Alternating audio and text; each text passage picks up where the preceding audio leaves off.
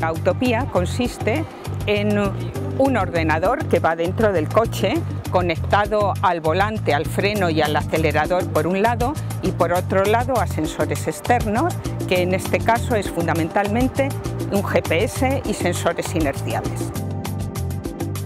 El programa de ordenador que va dentro del coche es el que hace de piloto.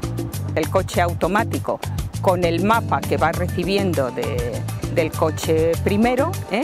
va tomando las decisiones pertinentes para ir a la velocidad adecuada, mantener la distancia de seguridad y seguir la ruta.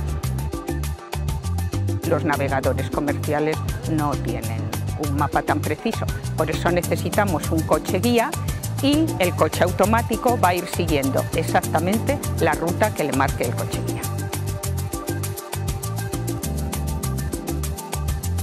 Yo creo que la tecnología está disponible. El problema es que hay que integrar muchas cosas y eso todavía eh, no, está integrado, salvo en, prototipos que yo supongo que casi todos los fabricantes de automóviles tendrán, pero esta tecnología se tiene que industrializar y consolidar más.